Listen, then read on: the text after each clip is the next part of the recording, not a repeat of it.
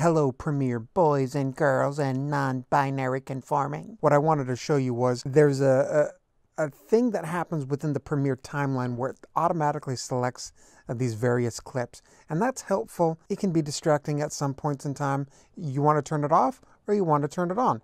Um, basically, so I, I didn't know that you could turn it off and on. I thought it was just a function of Premiere and how it was laid out. But almost everything in Premiere has a switch or something or other. But basically, this is going to allow me to quickly and easily take out these cuts.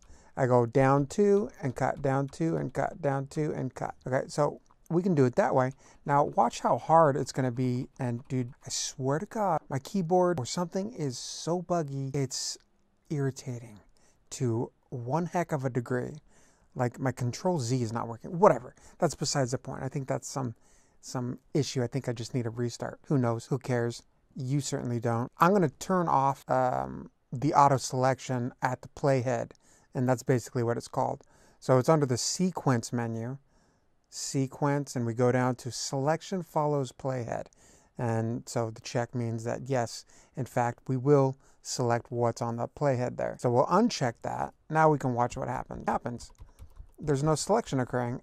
And that actually may be what you want. Sometimes I've wanted that, uh, but then I just went around it some other different way and it, it was whatever. But uh, had I known about that on and off function, that toggle function, um, that could have saved me like 10 seconds of my life. And you know, if I add up all the times, uh, I could save 10 seconds of my life. Like if I didn't have to do this video, I mean, what, I'd save 10 minutes of my life. I mean, I'd like to bank on that later. And when I go knocking on death's door, I'd be like, dude, I'd like to cash in like 150 minutes and a couple Chuck E. Cheese coins. Anyways, there's the trick. Hopefully you guys can use it. I certainly will be. Later!